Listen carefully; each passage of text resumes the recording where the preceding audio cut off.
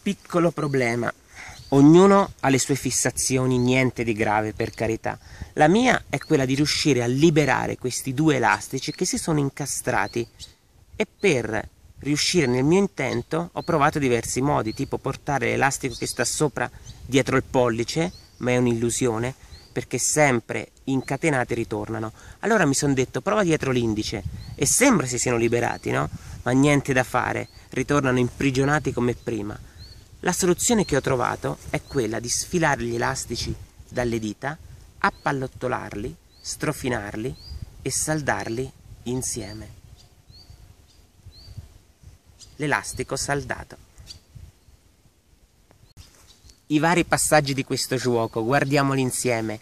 Pollice indice, pollice indice dell'altra mano, questa mano si inserisce dentro l'elastico in questo modo, quindi dall'alto verso il basso, la ruoto di 180 gradi e questa è la posizione di base. In realtà l'elastico è sempre uno, non sono mai due. Per dare l'illusione che siano due li muovo, state attenti a non alzarlo. Poi, nel tentativo di liberarli, dico che porto quello sopra dietro il pollice. Quando fate questo passaggio, che è questo, da dietro si vede così, state attenti a coprire con questo pollice l'elastico che è qui, perché altrimenti svelereste il trucco così. Ma la posizione giusta è questa. Movimento oscillatorio che serve sempre a coprire vari passaggi chiave.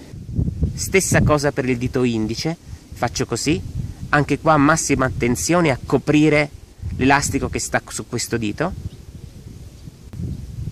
Movimento oscillatorio, posizione di partenza, tolgo l'elastico dalle dita, lo appallottolo, adesso è solo teatro perché la fase manipolativa è ultimata. E i due elastici sono fusi insieme.